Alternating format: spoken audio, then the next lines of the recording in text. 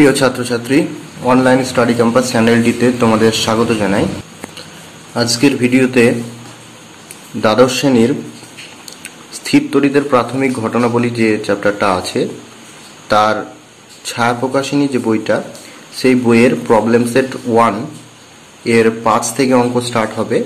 এর আগে একটা ভিডিওতে আমরা প্রথম চারটি অঙ্ক করেছি। যারা সেই ভিডিওটি দেখোনি, তাদের জন্য আমি ডেসক্রিপশনে লিঙ্ক দিয়ে দেবো, সেখান থেকে দেখে নিও। আর আর একটা কথা বলার, সেটা হচ্ছে তোমরা অবশ্যই চ্যানেলটিকে সাবস্ক্রাইব করে রাখো। তার কারণ এই চ্যানেলটি তোমাদের প্রত্যেকটা চ্যাপ্টারের যে প্রবলেম সেটের অঙ্কগুলো আছে, সেগুলো ধরে ধরে করে দেওয়া হবে এই চ্যানেলে। তা তোমরা বুঝতেই পারছ, তোমরা হয়তো সকলে টিউশনে পড়া ইতিমধ্যে শুরু করে দিয়েছ বা ইলেভেনেও পড়েছো। এই প্রবলেম সেটের অঙ্ক কিন্তু কোনো টিচারই সবগুলো ধরে ধরে করায় না বা করানোর সময় হয়ে ওঠে না। আর তোমরা বুঝতে পারছ যে ফিজিক্সের সম্পূর্ণ কনসেপ্ট যদি কারও তৈরি করতে চাও কেউ, তাহলে প্রবলেমটা কতটা গুরুত্বপূর্ণ? তাই এই প্রবলেমগুলো কিন্তু তোমাদেরকে করতেই হবে। তো ফার্স্ট অফ ফার্স্ট টাইম তোমরা নিজে নিজে ট্রাই করো। যদি না পারো, তাহলে এই ভিডিওগুলির হেল্প নিতে পারো। তো অবশ্যই চ্যানেলটিকে তোমরা সাবস্ক্রাইব করে রাখো। বললাম চ্যানেলটি কতটা গুরুত্বপূর্ণ ভিডিও তোমাদের জন্য আপলোড করে। তো দেখো, প্রথমে পাঁচের যে অঙ্কটা দেওয়া আছে, সেটাতে কি দেওয়া আছে? একটি তিরিশ সেমি ব্যাসার্ধের গোলক কত তড়িতে আহিত করলে এর আধানের তলমাত্রিক ঘনত্ব two by pi stat coulomb per semi square হবে? তো চলো দেখে নিই এটা কীভাবে করা যায়। দেখো, প্রথমে যে ডাটাগুলো দেওয়া আছে, সেগুলো আমি এখানে টুকে নিয়েছি। গোলকের ব্যাসার্ধ দেওয়া ছিল সেটাকে আমি আর দিয়ে ডিনোট করছি আর ইকুয়াল টু তিরিশ সেমি দেওয়া ছিল। এবার গোলকের ব্যাসার্ধ যদি জানা থাকে, তাহলে গোলকের ক্ষেত্রফল আমরা খুব সহজে বের করতে পারব। গোলকের ক্ষেত্রফলের ফর্মুলা কি? ক্ষেত্রফলের ফর্মুলা হচ্ছে ফোর পাই আর স্কোয়ার আমরা সেটা জানি। তাহলে এখানে ফোর পাই আর এর জায়গায় এই তিরিশ সেমি বসিয়ে দিয়েছি। এবং এটাকে একটু সিম্পলিফাই করে চারের সঙ্গে যদি তিরিশের স্কোয়ার গুণ করে দিই, তাহলে ছত্রিশশো হয়ে যায়। আর এই পাই থেকে গেল, তাহলে ছত্রিশশো পাই সেমি স্কোয়ার এটা হলো গোলকটার ক্ষেত্রফল। আর আধানের তলমাত্রিক ঘনত্ব মানে আমরা সকলে এখানে সরি আধানের তলমাত্রিক ঘনত্বটাও এখানে কোশ্চেনে দেওয়া ছিল two by pi stat coulomb per semi square এবার আধানের তলমাত্রিক ঘনত্বের সং তাহলে আমরা দেখতে পাবো যে আধানের তলমাত্রিক ঘনত্ব হচ্ছে একক ক্ষেত্রফলে কত পরিমাণ চার্জ আছে সেইটা। অর্থাৎ সিগমাটা যদি আধানের তলমাত্রিক ঘনত্ব হয়, সিগমা ইকুয়াল টু হয় কিউ বাই এ যেখানে এটা হচ্ছে ক্ষেত্রফল। এবার এখানে কোশ্চেন অনুযায়ী আমাকে এই কিউ এর মানটা বের করতে দিয়েছে, তাহলে Q equal to sigma A কোনাকুনি গুণ করে পেয়েছি। এবার সিগমার মান কোশ্চেনে প্রদত্ত ছিল টু বাই পাই আর এ এর মান আমি বের করে রেখেছি এই যে ছত্রিশশো পাই সেই মানগুলো এখানে পুট করে দেওয়া হয়েছে। তাহলে সিগমার জায়গায় বসানো হলো two by pi into A এর জায়গায় বসানো হলো ছত্রিশশো পাই এবার তুমি এই পায়ের সঙ্গে এই পাই কেটে দাও, ছত্রিশশোর সঙ্গে দুই গুণ করলে হচ্ছে সাত হাজার দুশো ইএসইউ এবার তুমি দেখো ইএসইউটা হচ্ছে আধানের সিজিএস একক এবং এই প্রবলেমটা সম্পূর্ণটাই সিজিএসে দেওয়া ছিল। তাই এখানে আধানের এককটা হলো ইএসইউ এবার পরবর্তী কোশ্চেনটাই কি আছে? চলো একবার দেখে নিই। ছয়ের দাগের কোশ্চেনটাই আছে, একটি বস্তুর তলের ক্ষেত্রফল পঁচিশ সেমি স্কোয়ার এবং আধানের তলমাত্রিক ঘনত্ব পাঁচ স্ট্যাট কুলাম পার সেমি স্কোয়ার। মোট আধানের, ওর মোট আধান কত? সেটা বের করতে হবে। তো এখানে আগের অঙ্কটা, আগের ফর্মুলা দিয়ে অঙ্কটা হবে। এখানে তলের ক্ষেত্রফল এ সেটা বলে দিয়েছে পঁচিশ সেমি স্কোয়ার এবং আধানের তলমাত্রিক ঘনত্ব সিগমা, সেটা বলা আছে ফাইভ স্ট্যাট কুলাম পার সেমি স্কোয়ার তার মোট আধানটা বের করতে হবে। আর আগের প্রবলেমটাই আমরা দেখলাম, সিগমা ইকুয়াল টু হয় কিউ বাই এ এটার থেকে যদি কিউ বের করি, তাহলে Q equal to sigma A এবার এখানে এই যে আমরা লিখেছি Q equal to sigma A সিগমার জায়গায় মানটা বসিয়েছি আর এর জায়গায় মানটা বসিয়েছি। দেখতে পাচ্ছ সিগমার জায়গায় পাঁচ বসানো হয়েছে আর এর জায়গায় বসানো হয়েছে পঁচিশ, যেটা দেওয়া ছিল। এবং পাঁচ আর পঁচিশ গুণ করলে হয় একশো পঁচিশ স্ট্যাট কুলাম এবং এখানে স্ট্যাট কুলাম লিখেছি সিজিএস পদ্ধতিতে দেওয়া ছিল তাই। আবার এই সিজিএস পদ্ধতিতে চার্জের আধান ইএসইউ আধানও হয়, সেটাও লিখতে পারো। কিন্তু এখানে যেহেতু আধানের তলমাত্রিক ঘনত্বটা স্ট্যাট কুলাম পার সেমি স্কোয়ারে আছে, তাই তুমি এখানে চার্জের যে এককটা, সেটা স্ট্যাট কুলামের লিখাই বেটার ইএসি লিখলেও প্রবলেম হবে না, কিন্তু যেহেতু এটা স্ট্যাট কুলাম পার সেমি স্কোয়ারে দেওয়া আছে, তাই এখানে স্ট্যাট কুলাম লেখাটাই ঠিক। মানে ঠিক হবে আর কি। এবার পরবর্তী কোশ্চেনটাই কি আছে, চলো দেখে নিই। সাতের দাগের কোশ্চেনটা আছে, চার সেমি ব্যাসার্ধের একটি গোলককে একশো বিরাশি ইএসইউ আধান দিলে এর আধানের তলমাত্রিক ঘনত্ব কত হবে? তো এটার জন্য এখানে যে ব্যাসার্ধ চার সেমি, সেটা লিখে নিলাম, ক্ষেত্রফল বের করে নিলাম। ক্ষেত্রফলের ফর্মুলা কি গোলক বলেছে? তাহলে চার, ফোর পাই আর স্কোয়ার, এটা ফর্মুলা। তাহলে ফোর পায়ের মান বাইশ বাই সাত, এটা বসিয়ে দেওয়া হয়েছে। আর আর তো এখানে দেওয়া ছিল চার। তাহলে চার, চারের স্কোয়ার মানে চার ইন্টু চার লিখে দেওয়া হয়েছে। এবং এটা তোমরা একটু সিম্পলিফাই করে দেখবে, দুশো দশমিক নয় ছয় সেমি স্কোয়ার আসবে। আর এখানে এই তড়িৎ আধানের মানটা দেওয়া ছিল কত? সেটা হচ্ছে একশো বিরাশি ইএসইউ এটা কোশ্চেনে বলা ছিল এই যে একশো বিরাশি ইএসইউ আর আগের অঙ্কটার মতন এটাতেও তলমাত্রিক ঘনত্বের যে formula sigma equal to Q by A এখানে কিউ এর মান একশো বিরাশি এটা বসিয়ে দেওয়া হয়েছে, আর এ এর মান দুশো দশমিক নয় ছয় এটা বসিয়ে দেওয়া হয়েছে। এবং এটাকে যদি তুমি একটু ক্যালকুলেশন করে নাও, তাহলে দেখবে দশমিক নয় শূন্য আরও কয়েকটা সংখ্যা আসবে। তো আমি এই প্রথম দশমিকের পর একটা ঘর নিয়েছি। তো এবার আটের অঙ্কে কি আছে? চলো দেখে নেওয়া যাক, এই অঙ্কটা কমপ্লিট হয়ে গেল। আটের কোশ্চেনটা দেওয়া আছে, দুটি চার সেমি ও আট সেমি ব্যাস বিশিষ্ট গোলকের আধান সমান। এদের তলমাত্রিক ঘনত্বের অনুপাত নির্ণয় করি। তো দুটোর আধান সমান এখানে কোশ্চেনটা বলা দেওয়া আছে, বলে দেওয়া আছে। তাহলে আমরা জানি যে গোলকের ক্ষেত্রে সিগমা অর্থাৎ আধানের তলমাত্রিক ঘনত্ব সিগমা ইকুয়াল টু হয় Q by four by r square যেখানে আটটা হচ্ছে ওই গোলকের ব্যাসার্ধ। এবার এখানে কোশ্চেন বলে দিয়েছে, দুটোর ক্ষেত্রে আধান সমান। তাহলে আমরা যদি কিউটাকে কনস্ট্যান্ট ধরে নিই, তাহলে কিউ বাই ফোর ফাইভ এই টোটাল পার্টটা কনস্ট্যান্ট হয়ে যাবে। তাহলে সিগমাটা কার সঙ্গে ভ্যারি করছে? কেবলমাত্র ওই যে গোলকটা আছে, তার ব্যাসার্ধের বর্গের সঙ্গে সমানুপাতিক হচ্ছে, ব্যস্তানুপাতিক হচ্ছে। দেখতেই পাচ্ছ, এখানে কিউটা কনস্ট্যান্ট কেন ধরলাম? দুটো আলাদা আলাদা গোলক নিয়েছে, কিন্তু দুটোরই গোলকের চার্জ সেম কোশ্চেনে বলা আছে। সেই জন্য কিউটাকে কনস্ট্যান্ট ধরে নিলাম। তাহলে sigma proportional to one by r square এটা হচ্ছে। তা আমি এই জায়গা থেকে আমরা কি লিখতে পারি? লিখতে পারি sigma one by sigma two is equal to r two by r ওয়ানের হোল স্কোয়ার তার কারণ বুঝতেই পারছ, এদিকে ওয়ান টু হয়েছে। আর এদিকটা কি হবে? টু ওয়ান হবে। তার কারণ বুঝতে পারছ যে সিগমাটা আর এর বর্গের ব্যস্তানুপাতিক, সেই জন্য এদিকে ওয়ান টু আর এদিকে টু ওয়ান হলো। আচ্ছা বেশ, এবার কি করেছি আমি? এবার এই সাইডটা যা ছিল তাই রেখেছি, কিন্তু এই সাইডে কি করেছি, এই ভেতরে দুই দিয়ে গুণ করেছি, উপর নিচে। গুণ করলে কিন্তু এমন কিছু পরিবর্তন আসবে না, এই দুই দুই কেটে গেলে আগের মতনই থাকল। কিন্তু আমি গুণ করেছি, তার আমার একটা বিশেষ কারণ আছে। কারণটা কি? দেখো, এটা হচ্ছে ব্যাসার্ধ, দ্বিতীয় গোলকের, এটা হচ্ছে প্রথম গোলকের ব্যাসার্ধ। দুই দিয়ে গুণ করলে, ব্যাসার্ধকে যদি দুই দিয়ে গুণ করি, তাহলে তো আমরা তার তাহলে তার আমরা কি পাই? ব্যাসটা পেয়ে যাই। তাহলে এখানে টু আর টু এটাকে ডি টু ধরে নিলাম, আর টু আর ওয়ান এটাকে ডি ওয়ান ধরে নিলাম। এইবার আমাদের কোশ্চেনে এই ব্যাসার, ব্যাসগুলো দেওয়া আছে। ব্যাস একটা দেওয়া আছে আট, আর দ্বিতীয়টার আট, আর প্রথমটার হচ্ছে চার। তো সেই মানটা আমি এখানে বসিয়ে দিয়েছি।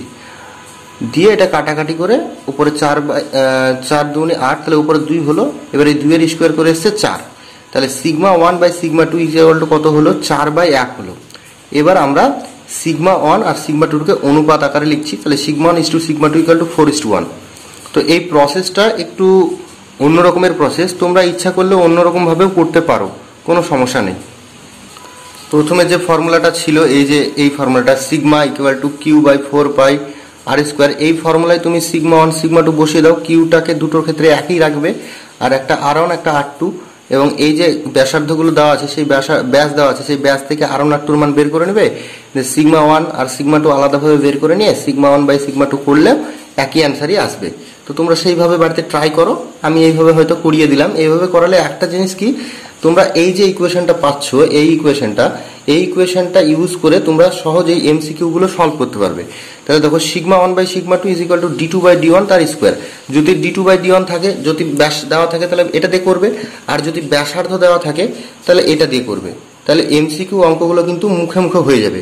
সেই জন্য আমি এই প্রসেসটা করালাম। এবার তোমাদের যদি এটা মনে হয় যে ভালো লেগেছে, তাহলে এটা করবে, আর যদি মনে হয় না এটা কঠিন লাগছে, তাহলে আমি যেভাবে বললাম, প্রথমে সিগমা ওয়ান বের করে নিবে, তারপরে সিগমা টু বের করে নিবে, তারপরে অনুপাত করে দিবে, সেটাও হবে।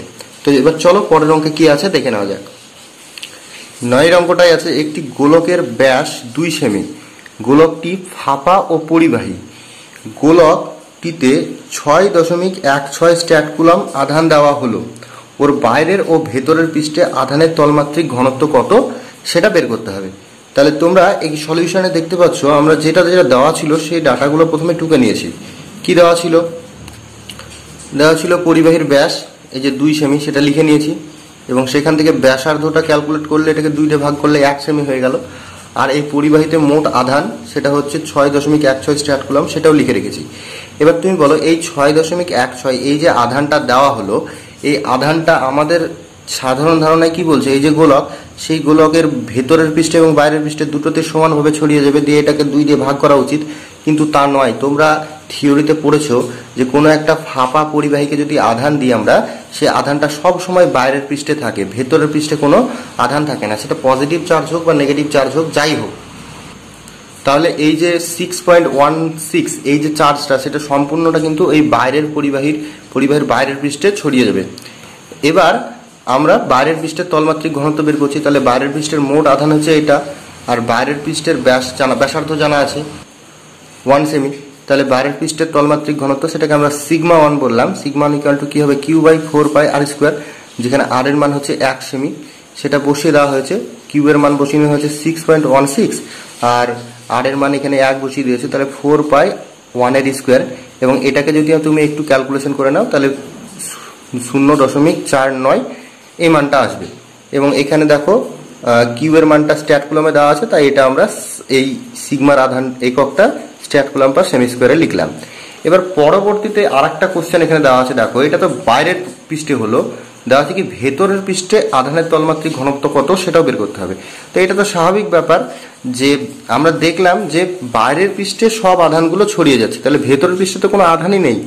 তাহলে এই কথাটাকে লিখতে হবে, যেহেতু আহিত পরিবাহীর যেহেতু আহিত ফাঁপা পরিবাহী সমগ্র আধান আধান তার বাইরের পৃষ্ঠে থাকে, ভেতরের পৃষ্ঠে কোনো আধান থাকে না, তাই ভেতরের পৃষ্ঠের তলমাত্রিক ঘনত্ব হবে কত? সিগমা টু যদি জিরো কিউ এর জায়গায়, অর্থাৎ চার্জের জায়গায় জিরো বসিয়ে দিলাম, আর ব্যাসার্ধ ফোর বাই আবিষ্কার যেমন তাই থাক, কিন্তু ওপরে জিরো বাই সামথিং মানে জিরোই হয়। এবং সেটার একক স্ট্যাট কুলাম বা সেমি স্কোয়ার এটা লিখে দেবে। এবার দশ নম্বরের যে প্রবলেমটা আছে, সেটা কি বলেছে? চার মিলিমিটার ব্যাসার্ধ বিশিষ্ট একটি এবং একই আধানে আহিত চৌষট্টিটি জলবিন্দু সংযুক্ত হয়ে একটি বড় জলবিন্দু উৎপন্ন করল। উভয় ক্ষেত্রে এদের তলমাত্রিক ঘনত্ব, আধানের তলমাত্রিক ঘনত্বের অনুপাত নির্ণয় করি। তো এই প্রবলেমটা করার জন্য আমি ধরে নিব, ওইখানে যদিও ছোট গোলকের ব্যাসার্ধ দেওয়া আছে, তবুও আমি ধরে নিব যে ছোট জলবিন্দুগুলো আকার আকার হচ্ছে গোলকের মতো এবং তার ব্যাসার্ধ হচ্ছে ছোট হাতের আর। আর ওইগুলো যুক্ত হয়ে যে বড় জলবিন্দু তৈরি হলো, সেটাও একটা গোলকের মতো, কিন্তু তার ব্যাসার্ধ হলো বড় হাতের আর। এবার এবং প্রতিটি ছোট বিন্দুতে আধানের পরিমাণ হচ্ছে কিউ, এটা আমরা ধরে নিলাম। এবার আমরা জানি যে যেহেতু ছোট ছোট ছোট ছোট জলবিন্দুগুলো যুক্ত হয়ে একটা বড় জলবিন্দু তৈরি হয়েছে, তাহলে কি হবে? এদের সমগ্রটার আধান যোগ করে যে যোগ করে যে আয়তনটা হবে, সেটাই নিশ্চয় এই বড় জলবিন্দুটার আয়তন হবে। তা আমি সেই কথাটা লিখেছি, দেখো, বড় জলবিন্দুর আয়তন ইজ ইকুয়াল টু চৌষট্টিটি ছোট জলবিন্দুর আয়তন। এবার বড় জলবিন্দুর আয়তনের ফর্মুলা হচ্ছে, যেহেতু গোলক ধরলাম, তাহলে কি হবে? চারের তিন পাই আর কিউব, সেটা হচ্ছে বড় বড় জলবিন্দুটার আয়তন, আর এখানে চৌষট্টিটি ছোট জলবিন্দুর আয়তন, অর্থাৎ চৌষট্টি ইন্টু চারের তিন pi small r cube small আরটা হচ্ছে ছোট জলবিন্দুর ব্যাসার্ধ আর ক্যাপিটাল আরটা হচ্ছে বড় জলবিন্দুর ব্যাসার্ধ। এবং এখান থেকে তুমি একটু কাটাকাটি করে দেখো, এখানে পাই এই পাই এই চারের তিন, এই চারের তিন কেটে গেল, তাহলে আর কিউব ইকুয়াল টু থাকল চৌষট্টি r cube small r cube এবং চৌষট্টিটাকে আমরা কিউবে আকারে লিখতে গেলে চারের কিউব হয়। তাহলে ফোর আর এর হোল কিউব লিখে দিয়েছি। দিয়ে ওই বোথ সাইডে কিউব কিউব তুলে দিলে আর এর বড় হাতের আর অর্থাৎ capital r equal to four r এটা পেলাম। এবার আমরা কি করেছি? প্রতিটি ছোট জলবিন্দুর আধানের তলমাত্রিক ঘনত্বটা বের করেছি, সিগমা ওয়ান। সিগমা ওয়ান, এটা কি? সিগমা ওয়ান ইকুয়াল টু হচ্ছে দুটো উভয় ক্ষেত্রে, দেখো, আমি ছোট জলবিন্দুতে আধান ধরেছি, কত আধান ধরেছি কিউ তাহলে Q by four pi small r square হবে। এটা লিখলাম হচ্ছে ছোট জলবিন্দুর ক্ষেত্রে। আর বড় জলবিন্দুর ক্ষেত্রে আধানের তলমাত্রিক ঘনত্ব, সেটা যদি সিগমা টু ধরি, তাহলে কি হবে? এখানে চৌষট্টি কিউ পরিমাণ চার্জ থাকবে, তার কারণ চৌষট্টিটি জলবিন্দু এখানে যুক্ত হয়েছে। তাহলে এক একটা জলবিন্দুতে আধানের পরিমাণ কিউ করে, তাহলে চৌষট্টিটি জলবিন্দুতে আধানের পরিমাণ কত হবে? চৌষট্টি কিউ তাহলে এখানে কিউ এর মানটা হলো চৌষট্টি কিউ আর ব্যাসার্ধ কত এখানে? ব্যাসার্ধ হচ্ছে ক্যাপিটাল আর তাহলে ফোর পাই আর স্কোয়ার, এটা হলো ব্যাসার্ধ। এবার এখানে দেখো আর এর মান আমি বের করে রেখেছি with respect to small r capital r বের করে রেখেছি with respect to small r সেটা কত? Capital r equal to four r এটা বের করে রেখেছি। এবং সেই মানটা এখানে বসিয়ে দিলাম। বসিয়ে দেওয়ার পর এখান থেকে চারের স্কোয়ার ষোলো, এটা বাইরে বেরিয়ে গেল, আর ফোর পাই আর স্কোয়ার এটাকে ভেতরে রেখে দিলাম। এবার এই চৌষট্টিকে ষোলো দিয়ে যদি কেটে দিই, তাহলে ফোর কিউ আসছে। তাহলে four Q by four pi r square এটা আমার দাঁড়াল সিগমা টু এর মান। তুমি দেখো, এই অঙ্কটাই যদিও আর এর মান বলা আছে, কিন্তু এই আর আমার কোথাও কাজে লাগবে না যেহেতু অনুপাতটা বের করতে দিয়েছে। এবার আমি কি করলাম, এই সিগমা টু আর সিগমা ওয়ানের অনুপাত বের করলাম। তাহলে sigma two is two sigma one is equal to four Q দেখো সিগমা টু এর মান কত এসছে? Four Q by four pi R square সেটা লিখেছি, আর সিগমা ওয়ানের মান এসছে Q by four pi R square সে মানটা লেখা হয়েছে। এবার দেখো, এখানে ফোর বাদ দিয়ে Q by four pi R square এখানেও Q by four pi R square এইগুলো সব কেটে যাবে। তাহলে কিউ কিউ কাটলো ফোর ফোর কাটলো ফাইভ পাই কাটলো, আর আর স্কোয়ার আর স্কোয়ার কেটে গেল। তাহলে এখানে আর এর যে ভ্যালুটা দেওয়া ছিল ফোর মিলিমিটার সেটা আমার কাজেই লাগল না। তাহলে এখানে sigma two is two sigma one এখানে এখানে থাকলে কত? চার, আর এখানে সব কেটে গেছে, তার মানে এক।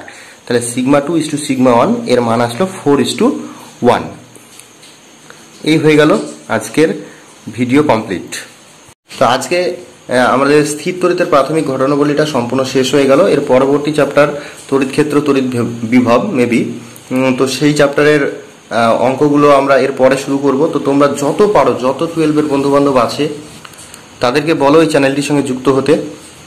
এবং তোমাদের সুবিধার জন্য আমি একটা হোয়াটসঅ্যাপের গ্রুপও ক্রিয়েট করেছি। তো তোমরা যদি চাও তো সেই হোয়াটসঅ্যাপ গ্রুপেও যুক্ত হতে পারো। তার জন্য আমি ডেসক্রিপশনে লিঙ্কটা দিয়ে দেবো। তাতে কি হবে সেখানে অনেক বন্ধু বান্ধব থাকবে। সেখানে তোমরা তোমাদের যেটা পারবে না, যে প্রবলেমটা সেটা তোমরা সেন্ড করতে পারো। এবং তারাও অনেক সময় আমি দেখেছি যারা ওই গ্রুপটাতে আছে, অনেকেই খুব হেল্পফুল এবং তার সঙ্গে সঙ্গে বলে রাখি, আমারও কিছু বন্ধু বান্ধব সেই গ্রুপে যুক্ত আছে, তারাও অনেক সময় অঙ্ক করে করে দিতে হেল্প করে।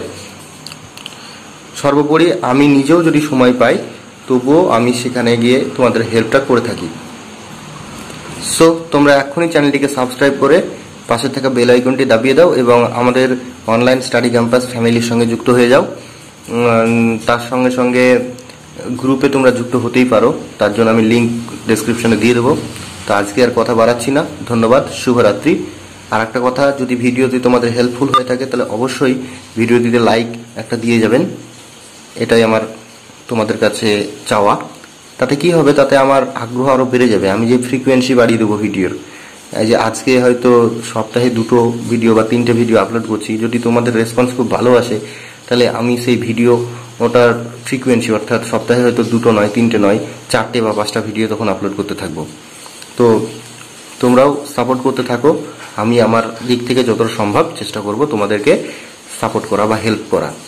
সো আজকে এই পর্যন্ত থাকল। সকলে ভালো থেকো, সুস্থ থেকো। ধন্যবাদ।